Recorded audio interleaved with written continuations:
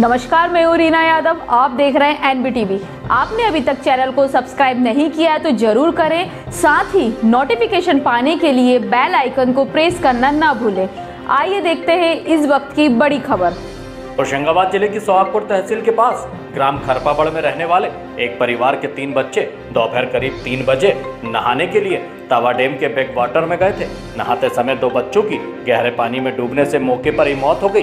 वही एक बच्ची को सोहागपुर अस्पताल लाया गया, जहाँ प्राथमिक उपचार के बाद उक्त बच्ची को जिला अस्पताल रेफर कर दिया गया। हमारे संवाददाता रितेश साहू ने बताया कि प्राप्त जानकारी के अनुसार ग्राम खरपावड़ के राम सिंह काजले की छह वर्षीय बेटी दीपिका, पाँच वर्षीय बेटा श्रीकांत और नौ वर्षीय बेटी सलोनी अपने घर के पास तवा डैम के बैक वाटर में नहाने गए हुए थे, जहाँ दो बच्चे, दीपिका और श्रीकांत, की गहरे पानी में चले जाने के चलते मौके पर ही मौत हो गई। वहीं सलोनी को गंभीर अवस्था में सामुदायिक स्वास्थ्य केंद्र सोहागपुर लाया गया, जहाँ से प्राथमिक उपचार के बाद डॉक्टर रेखा सिंह गौर ने जिला अस्पताल के लिए रेफर कर दिया।